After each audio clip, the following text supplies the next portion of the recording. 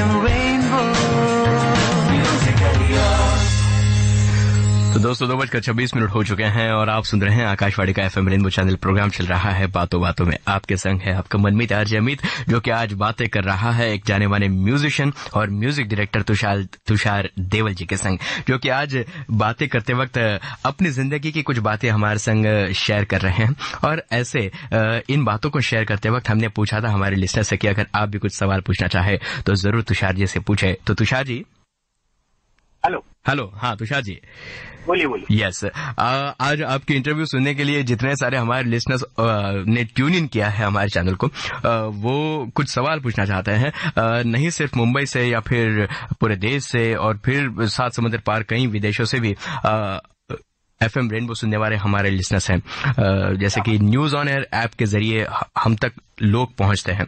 और जो सेलिब्रिटीज या जिस किसी की हम इंटरव्यू लेते हैं, उनकी बातें भी वो खुद सुनते हैं। तो और उनसे कुछ ना कुछ जानना चाहते हैं। जैसे कि फिरोज सिगानपुरिया जी हैं, जो कि लंदन से इस प्रोग्राम को सुन रहे हैं।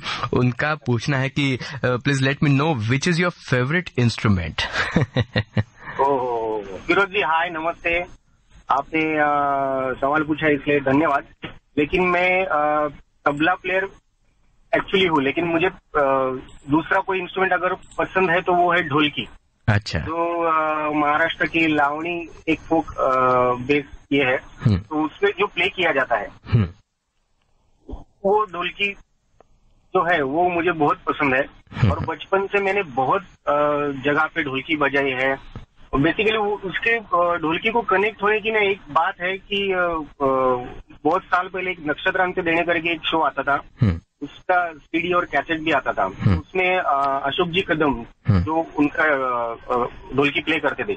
तो उनका मैंने सुना सुना बहुत सुना और, और बोला ये ये कुछ अलग है ये हमें आना चाहिए। तो ढोलकी का जो पहला तोड़ा रहता है ना पहले तो मैं ऐसा एडम तड़म बजाता था। लेकिन बोला नहीं ये सीखना चाहिए। तो वो तोड़ा पहला मेरा मेरे ज़िंदगी में अगर स्टेज शो में कौन सा तोड़ा मैंने बजा होगा तो वो जो है अशोक जी कदम का जो तोड़ा है वो मैंने बजा है। हम्म, और तुषार जी जैसे कि आपने ढोलकी की ये बात कही तो ये ढोलकी जो महाराष्ट्र से जुड़ी हुई है मराठी गीतों में ज़्यादा सुनाई देती है मगर ऐसी बात नहीं है कि हिंदी गानों से भी इसका रिश्ता नहीं है। ऐसे सुनने में आया है और जैसे जितना मेरा रिसर्च है उससे एक बात पता चलती है कि कुछ सालों पहले जब घर आया मेरा परदेसी इस गाने की रिकॉर्डिंग चल रही थी तब उस गाने में सबसे पहली बार बॉलीवुड में किसी हिंदी गाने के लिए ये इस महाराष्ट्रियन इंस्ट्रूमेंट का इस्तेमाल हुआ है ढोलकी का। एम आई राइट यस तो फ़िलहाल